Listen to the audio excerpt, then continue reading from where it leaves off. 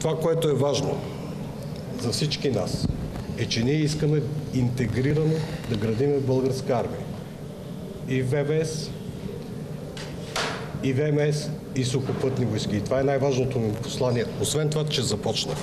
Заедно всички вървиме напред. Разбира се, че съм оптимист. Това е борба повече от 10 години. За първи път вече започва реална работа по проект. Когато говорим за високи технологии, нещата са сложни.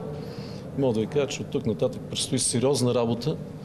Ние да оценим внимателно всички варианти, след като разбира се получим официалните отговори на нашето официално запитване. Това не е въпрос на няколко часа, на няколко дни. Това е работа много сериозна, преминаване към всеки ред в този договор. При осмислене, съпоставяне, вкарване в математически модел, изчисление и така нататък. Това отнема, за съжаление, време и ние, ние трябва да сме наясно.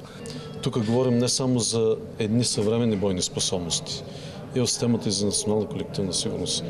Тук говорим и за високотехнологично развитие на България. При определени условия този проект може да доведе до съществен принос за обществено-економическото развитие на страната и то в областта, повтарям, на високите технологии. Това не трябва да се забравя. Аз мисля, че имам прекрасни подчинени.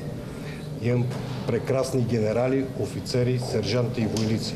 Им свалям шапка. Това е българската армия. Хора достойни, хора предани на Република България.